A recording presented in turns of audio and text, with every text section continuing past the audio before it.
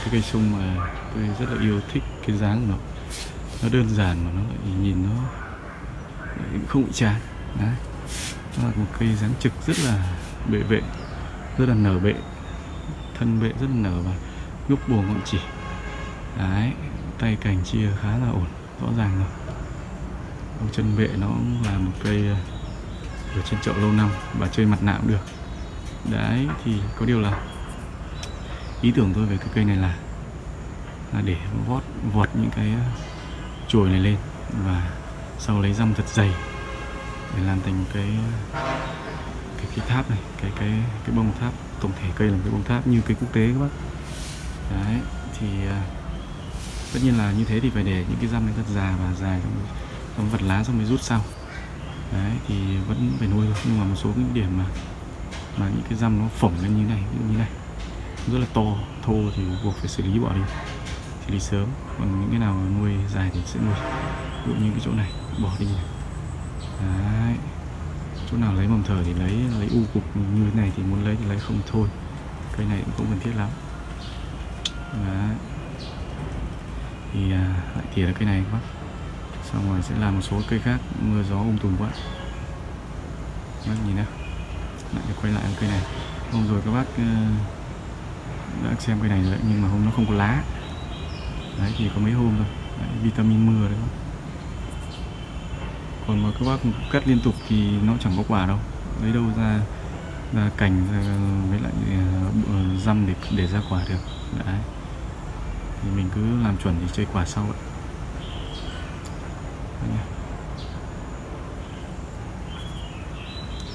Đấy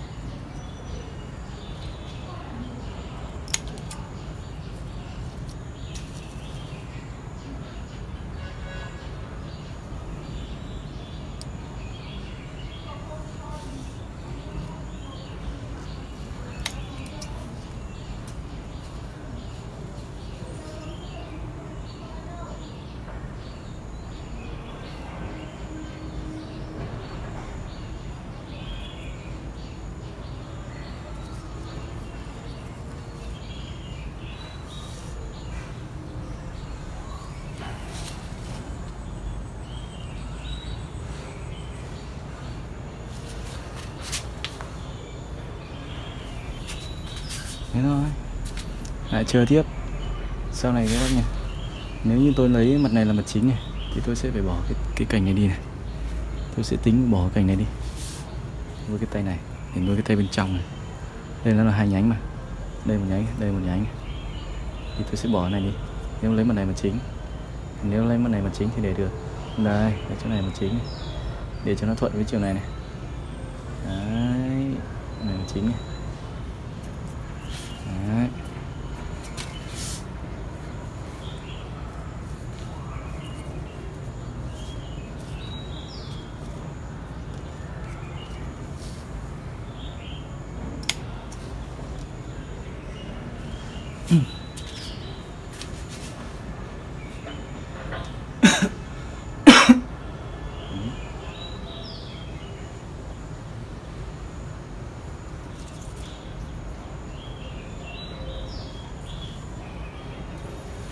khi nào nó già răm đen cái răm này thì sẽ làm lọc lá và làm.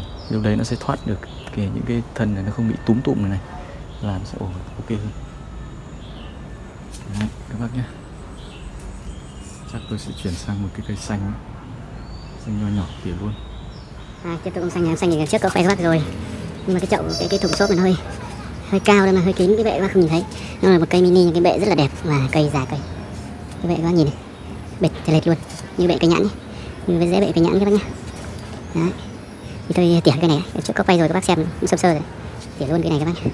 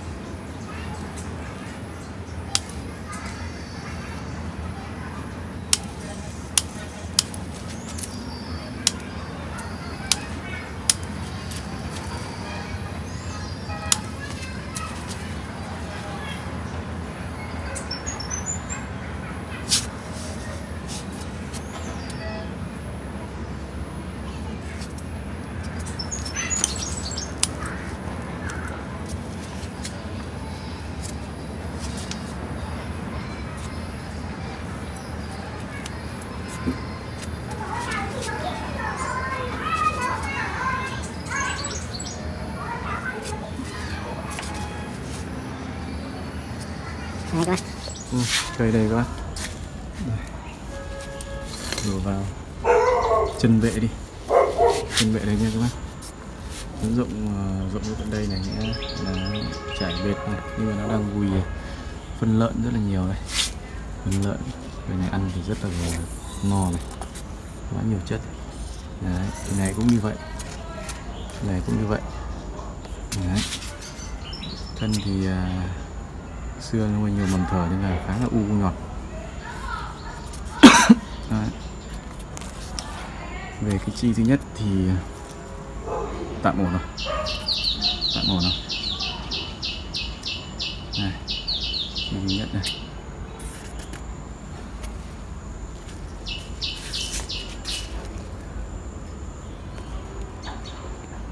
Rồi, các bạn nhé. Đây mình đánh xuống đây mình để bông đỡ đây xong đánh ở đây. Cái này cũng vậy. Đấy.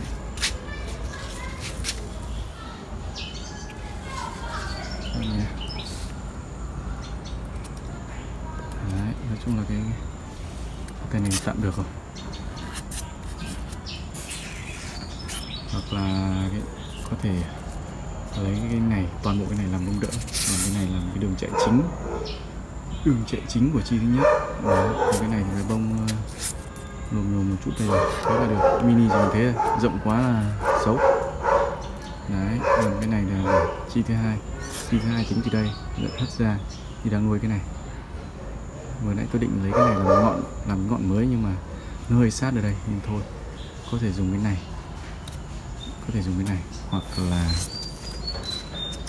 dùng cái này. Cái này thì dùng hơi thô sau đó cắt cắt để lấy một cái đầu đó đây. Hoặc là lấy trực tiếp từ đây, giật lên. Đấy, thì nó khá là nhiều mầm thở cây này thì vô tư đi. Đấy. vừa nãy mà để lại cái chỗ này thì cũng có thể ok đấy.